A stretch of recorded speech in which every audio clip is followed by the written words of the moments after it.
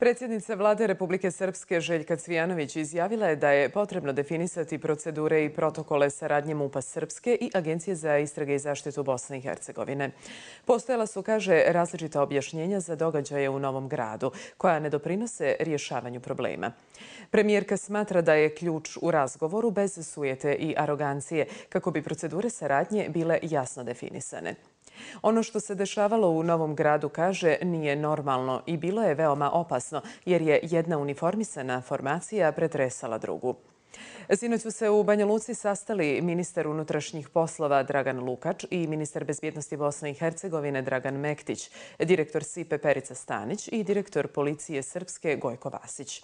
Dogovoreno je da se postojeći sporazum o operativnoj saradnji i koordinaciji doradi i precizno definiše i da se dogovori buduća saradnja u borbi protiv terorizma.